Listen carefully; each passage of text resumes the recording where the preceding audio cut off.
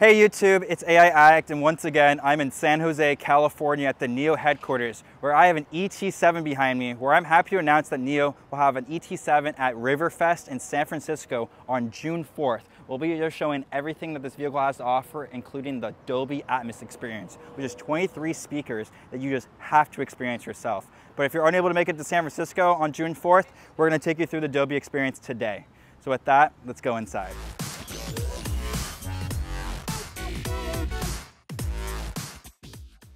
Hey guys, I'm here in the ET7 with Emmanuel, who's going to take us through the Dolby audio experience. Thank you so much for having the time to show us this entertainment system. And uh, with that, I'll hand the keys over to you. So within every NIO uh, ET7, ET5, and NT2 generation cars, we have Dolby Atmos by default. We can start with the first experience, video plus Dolby Atmos audio.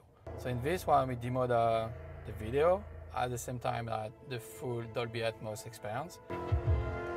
Wow, I, I literally feel like I'm in like a movie theater in the Dolby Exactly. like actual theater. So the Dolby Atmos is exactly this. The point is to try to reproduce and give the same user experience as within the theater. Just one. So within the car, we have 23 speakers, and with the Dolby Atmos, then basically the uh, the creator of the music can create the sound and move the sound. So I can already tell that this is a experience unlike any other. Normally, when you hear audio coming from one section or another side of the car, you can really kind of pinpoint where the audio might be coming from. But in this car, it felt like I'll say it's like water. It felt very fluid, like it was just transitioning all throughout the car and echoing off the right parts. Exactly. There was never a single part where I'm like, okay, I can hear the treble there, the bass there. It was just all one. So we work with Dolby to make sure that where we position the speakers and the way that we represent the uh, playback, the audio, then we can really reproduce what the creator want to create and the experience that they want that the user get. We can play one of the music, which is uh, one of the first one that Dolby recorded as a Dolby Atmos from Elton John's. But YouTube, I'm not sure how much of this I can show you, but I probably can give you about 15, 20 second here of my experience, but definitely give you my reaction, just for copyright reasons. I miss the earth so much. I miss my wife. It almost sounds like it's live. Yes, it's very clear and like alive.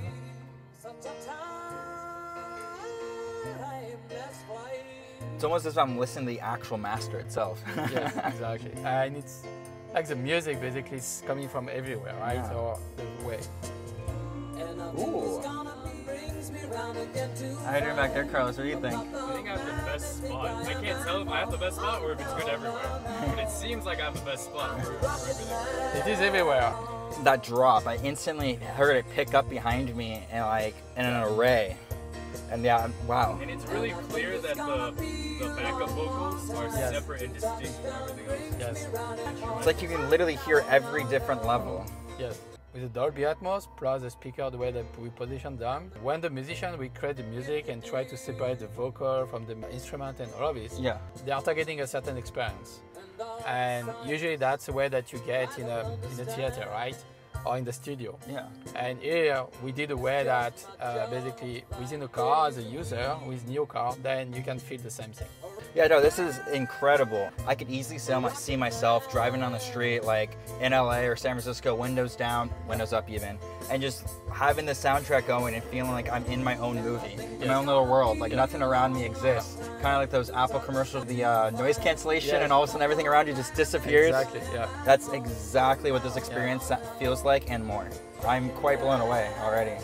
This is just the first song I'm hearing on it. So the, back there, what we experience up here is basically what they're also experiencing back Yeah, there with yeah. Carlos. The thing is because the sound they move it. I mean, not depend of the music, but some music. I mean, uh, basically the sound they, they they move it. So then you feel. I mean, of course, then you're from the back, you will feel different. But at least everywhere you feel this uh, this real 3D.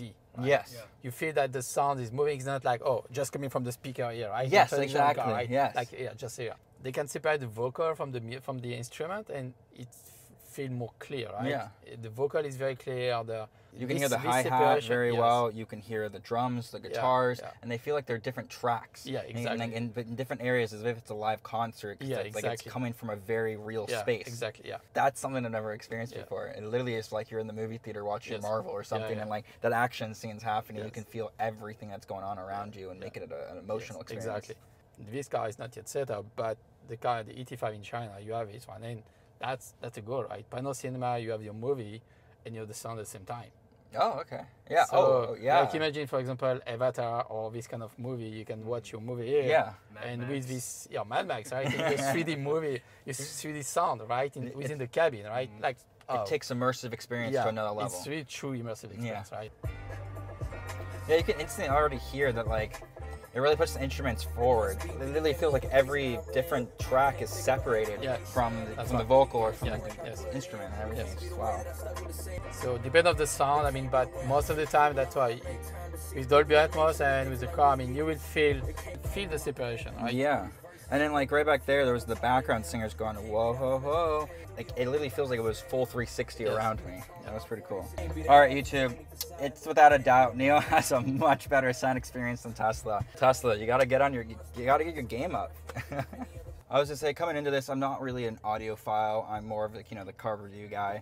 But having been in many other EVs, I, and having experienced a lot of different audio setups, this is definitely the nicest and best audio setup I have been in any, uh, whether it be an ICE vehicle or an EV vehicle in both my reviews or test drives. I mean, whether that be BMW or Tesla or Rivian, I mean, this actually does blow it out of the water. Um, I have to admit, I'm quite impressed. I mean, it's really hard to relay this information to you guys over through a video screen on cameras through YouTube. You kind of actually have to be here to experience exactly what this immersive uh, experience basically is. It's that's what it is. It's an experience. Like I said, um, you even though there are speakers in the car, there are 23 of them, and so you really don't. Re- it blends the music very well, and it's uh, very adaptive. It's without a doubt the most adaptive sound experience I've I've had so far in my in my career doing EV reviews. So with that, thank you so much for Thank showing so us the much. vehicle, and I appreciate everything you showed us.